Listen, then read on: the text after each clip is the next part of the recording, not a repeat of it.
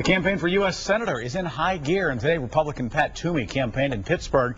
His continued embrace of old view on hate crimes brought a, countercharge, I should say, from his opponent, Joe Sestak.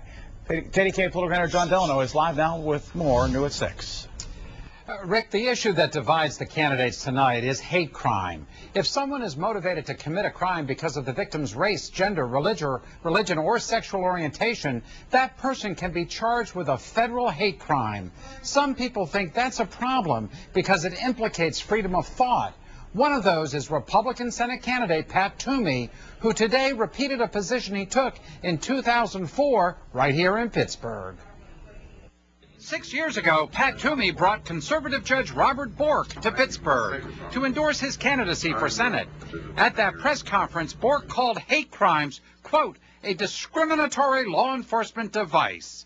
Toomey agreed. This is an intent, attempt to criminalize thought. It's an attempt to criminalize and add a, a dimension of punishment. That's why I think hate crime uh, legislation is wrong. The feds and almost all states have enacted hate crime legislation, adding a new charge and penalties for crimes motivated by a victim's race, religion, gender, and the like. I think it's a bad idea for the government to legislate based on what they think people are thinking or what's in a person's mind or heart when they commit a crime.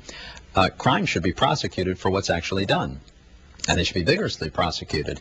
But Democrat Joe Sestak says hate crimes deserve special treatment those are so extremely offensive that that's why you have seen time and again Republicans and Democrats to say no. We want to make sure that that type of specific, focused, almost hatred, and that's what it is, is seen as even more offensive.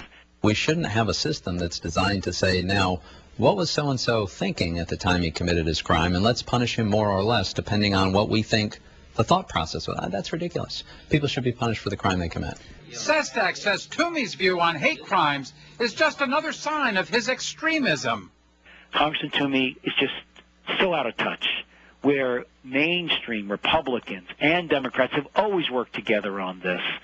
But Toomey says there's only one extremist in this race. Joe is to the left of the consensus of the Democratic Party. So I think Joe's a guy who's been pretty extreme. Now, I asked both candidates if they thought hate crime prosecutions are being brought unfairly in favor of one race or religion over another. Toomey said he didn't know. It was the whole concept he opposed. Sestak said if that was happening, it was wrong. Hate crimes must be brought equally regardless of who committed the crime.